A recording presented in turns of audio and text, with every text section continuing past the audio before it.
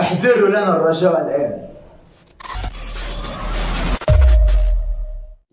حطني رقم واحد في القصيم الزمالك بيكسب الإسماعيلي 3-1 في مباراة مثالية وبيكسب وبيشوف لعيبته الأساسية ويشوف لعيبته البدلاء. وباتشيكو أو أبو الباتاشيك ملك التكتيك بيقدم مباراة كبيرة جدا قدام الإسماعيلي. هنتكلم في كذا حاجة النهاردة عن الإسماعيلي وعن الزمالك. فلو الحلقة دي وصلت لك انزل اعمل like واعمل subscribe وفعل الجرس عشان يجي لك كل جديد. ويلا بينا نخش نتكلم على طول وكيف الزمالك حسم المركز الثاني. الزمالك بيخش الماتش بتشكيلة دي فيها مزيج ما بين البدلاء وما بين الأساسيين. يعني مثلا بدأ في حراسة المرمى وأبو جبل قدامه رباعي خط دفاع لعب ماتش الرجاء أحمد عيد محمد عبد الغني محمود الونش وعبد الله جمعة بيلعب اتنين في نص الملعب طارق حامد وإمام عاشور رباعي الهجوم ما فيش حد منهم أساسي غير مصطفى محمد وبيلعب نجم ناحيه اليمين كاسونجو ناحيه الشمال شيكابالا في القلب تحت مصطفى محمد. الزمالك المميز فيه واللي خلاه يكسب الماتش بدري بدري إنه دخل واخد المباراة بجدية من أول دقيقة. ده المميز في الزمالك النهارده إنه دخل المباراة واخد المباراة بجدية مش داخل مستهون بالمباراة أو داخل اللي هو أنا كده كده هكسب أو الجون هيجي في أي وقت. لا الزمالك داخل المباراة آه، مركز جدا في المباراة. عايز يكسب المباراة واخد المباراة بكل جدية وده كان مميز النهارده للزمالك أدى إن الزمالك يقدم مباراة كويسة الشوط الأول. الشوط الأول شفنا الزمالك كان ماسك كورة كان ضاغط كان هو اللي بيحاول يوصل جول الاسماعيلي أيام في الآخر في نهاية الشوط كان الاستحواذ الاسماعيلي 51 49 وكان الإسماعيلي شايط أكتر على الزمالك في المباراة. لكن الزمالك الكور اللي كان بيروح بيها على المرمى كانت كور فعالة على المرمى. محمد ونجم راح بكورة محمد فوزي شالها وراح بكورتين الزمالك كرة الجون بتاع مصطفى محمد وكرة الجون بتاع كاسونجو وفي كورة كورتين تانيين يعني راح تقريبا بخمس ست كور على المرمى الإسماعيلي سجلنا منهم جونين. وده اللي كان مميز للزمالك اللي أنت ضاغط على الإسماعيلي. الإسماعيلي بان النهارده إنه ضعيف أو بان إنه فريق هش تماما إن إمكانيات لعيبة الإسماعيلي وحشة. إمكانيات لعيبة الإسماعيلي وحشة. الإسماعيلي ممكن تلاقي لاعب أو اتنين بالكتير قوي في السكواد بتاع بتاع السنة دي. عبد الرحمن مجدي لاعب مواصفات عالية لاعب لاعب كويس بس فينش عنده عايز يتحسن. محمد الشا... عبد الله الشامي ومحمد الشامي تقريبا لاعب برده كويس بس الشوط الكتير مدبولي يعني مثلا ممكن تلاقي في ال squad كله بتاع الإسماعيلي بتاع السنة دي تلاقي مثلا محمود البدري آه باهر المحمدي مدبولي الشامي عبد الرحمن مجدي. فريق مش بالمقومات إنه ياخد بطولة أو فريق ينافس على بطولة أو فريق يلعب مباراة كبيرة.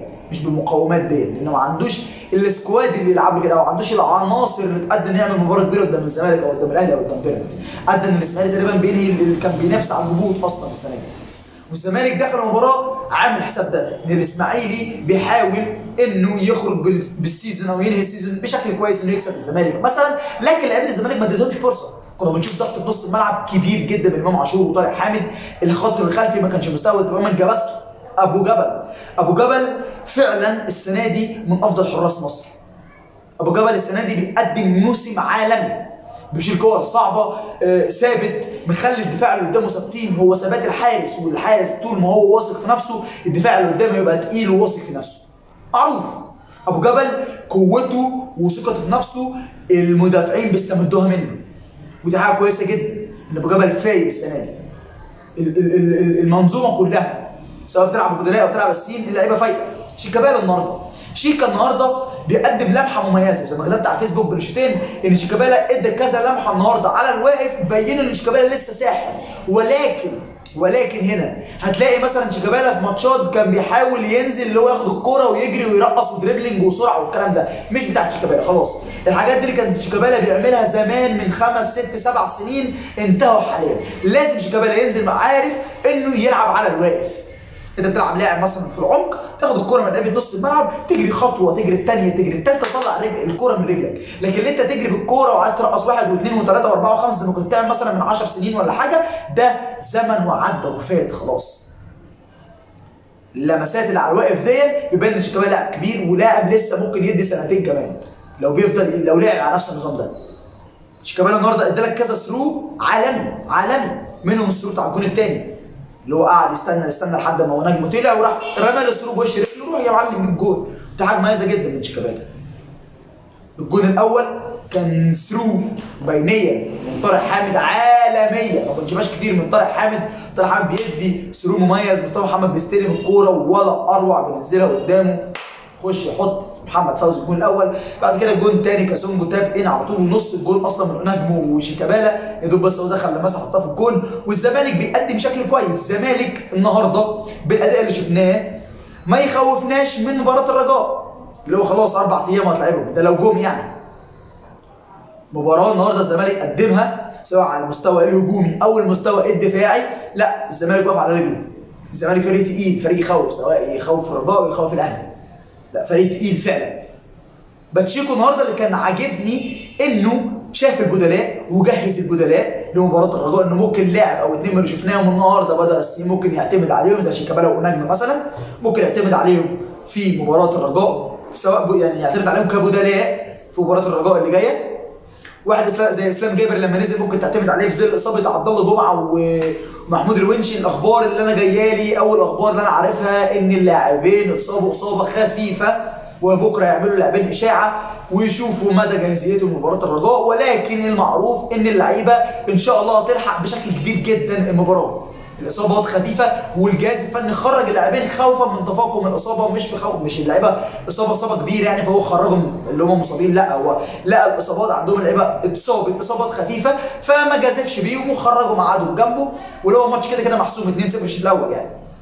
وخلاص ريح اللاعبين عبد الله والونش وإن شاء الله بكرة يعملوا اشاعه وينزلوا تدريبات يوم يوم الثلاثاء أو يوم الاربعاء بالكثير وي- ويجهزوا الماتش الرجاء إن شاء الله. وحتى لو لا قدر الله لا قدر الله لا قدر الله اسوء ال- ال- المواقف أو اسوء ال- ال- الاحتمالات إن الاثنين ما يلحقوش ماتش الرجاء. عندك بدلاء ليهم.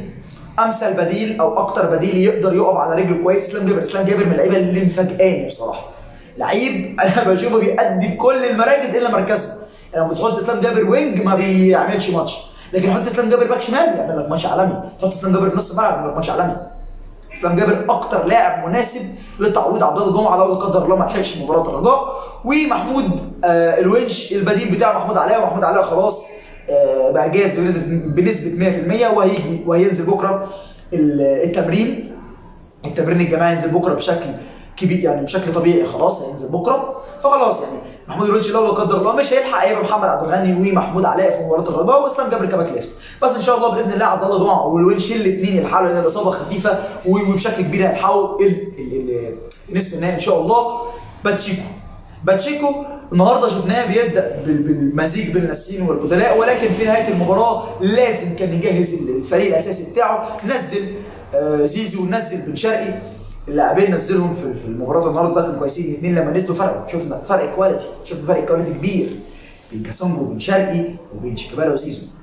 زيزو لاعب تقيل لاعب تقيل. بن شرقي لاعب تقيل. شفناهم الاثنين لما نزلوا مع نجم مع مصطفى محمد لا قدموا كورة قدموا كورة قدموا كورة. واللاعب امام عاشور يا رجالة لاعب راجل قوي. منه لله مش ان ما يدوش أفريقيا. منه لله. امام عاشور لاعب راجل راجل. بيلعب مركز مش في مركزه أصلا وبيأدي فيه وراجل. بيعمل اسيست الجول الثالث بن شرقي بن شرقي نزل على طول جاب جول على طول بن شرقي. بن شرقي يا معلم. بن شرقي. نزل حط جول على طول. نزل. طلع تيك جول وكان من الشرف ليه سر كلوباكم يا, شباب. خلاص. بن شرقي لا غنى عنه. لاعبين في لاعبين كده كذا لاعب في الفريق ما يقدرش يتعوض. أول لاعب من الفريق ما يقدرش يتعوض ما تقدرش تعوضه تماما هو طارق حامد. طارق حامد من اللعيبة اللي ما ينفعش يتعوضوا أو ما فيش حد يعرف يعوض طارق طارق فرق كبير جدا فرق سنين ضوئية عن أي لاعب بدني في الزمالك. طارق استخلاص للكوره ضغط التسلم والاستلام والتسلم لا لا لا في حتة ثانية شيء طارق حامد طارق حامد لا غنى عنه في الزمالك لا غنى عنه في الزمالك. لازم نحافظ عليه. طارق حامد ده يقعد في البيت كده يعني يقعد كده باتشيكو يمسكه كده يحبسه يخلص تمرين ويحبسه كده ما يطلعش لحد بقى ال final ولحد ماتش الرجاء. واللاعب التاني برضه اللي ملوش بديل وما يتعوضش بن شرقي كاسونجو النهارده لعب شوط جاب لنا شلل. جاب لنا تبول الارادي إحنا قاعدين بنتفرج على الماتش. تلعب لي بيه مثلا final أو semi final يا نهار أسود يا نهار أسود يا نهار أسود. بن شرقي يلعب. بن شرقي لا غنى عنه. مصطفى محمد لا غنى عنه. لا غنى عنه. مصطفى. زيزو. زيزو. عندك ثلاث أربع لعيبة في الفريق لا غنى عنه. مصطفى محمد زيزو بن شرقي طارق حامد. لازم نحافظ على اللعيبه دي. واللعيبة برضو اللي مفاجئاني واللي مقدمة أداء عالمي عالمي عالمي. إسلام جابر بينزل في نص الملعب أو back left محمد عبد الغني في قلب الدفاع بيقدم مستويات عالية. أحمد عيد. أحمد عيد اللاعب من آه، 19 سنة اللي لعب ماتش الرجاء عالي جدا. النهارده لعب ماتش الإسماعيلي عالي جدا. ولو لعب ماتش الرجاء العودة برضه هيقدم مباراة كبيرة. أحمد عيد لاعب وباك شمال من تراس فريد لازم نحافظ على أحمد عيد. الزمالك قدم مباراة كبيرة النهارده. قدم مباراة جميلة. اللي خلى الزمالك قدم مباراة كبيرة واللي هو يبين لنا إن إحنا نستريح من ناحية مباراة الرجاء هو الجدية. ولازم لازم لازم لازم لعيبة الزمالك قبل مباراة الرجاء تنسى نتيجة الذهاب تماما. تنزل المباراة حاطة هدف واحد هو الفوز بالمباراة. إن شاء الله بإذن الله هنعمل حلقة خاصة أصلا عن ماتش الرجاء والزمالك اللي- هنجيبه لو اتلعب بكرة نتأكد سواء هيلعب وهي- سواء هيتلعب ولا لأ. بكره الزمالك هياكد سواء الرجاء أصلا هيجي ولا لأ؟ فيبقى في حلقة إن شاء الله خاصة عن المباراة قبليها إن شاء الله بيوم أو بيومين فانزل اعمل subscribe بقى عشان تلحق الحلقة وكده بس ده رايك في مباراة الزمالك والإسماعيلي. قول لي رأيك أنت في ال comments ومبروك يا رجالة الحسم بتاع المركز الثاني واللعب في أفريقيا السنة الجاية في مباراة مثالية قدام الإسماعيلي. فقول لي رأيك أنت في ال comments مباراة الزمالك والإسماعيلي وقول لي من وجهة نظرك إيه أو مين مين لعيبة الزمالك لا غنى عنه ومش هنعرف نعوضه لو غاب لا قدر الله مباراة مهمة ولو الحلقة ما تنساش تعمل like واعمل subscribe في القناة واشترك في الجرس عشان يجيلك كل جديد. وتابعونا على ال social media فيسبوك وتويتر وانستجرام هتلاقي ال description تحت. وروح تابعونا عليهم. واعمل share على فيسبوك تويتر على تويتر كان معاكم مصطفى شكرا الحلقة الجاية. سلام.